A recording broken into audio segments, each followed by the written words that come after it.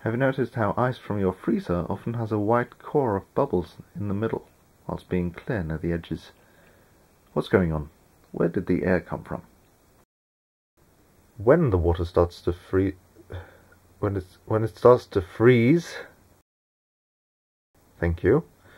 The surface solidifies first. This traps the dissolved air in the water inside. When more water freezes, the capability to keep the air dissolved decreases and the air bubbles appear. Now one might think that all the air would get pushed to the center and form a perfect sphere of air. But the water doesn't freeze uniformly, but in long crystals that grow in towards the center. As air separates from the water, it gets trapped in between these crystals, and depending on the rate of freezing, the air forms either long streaks or bubbles.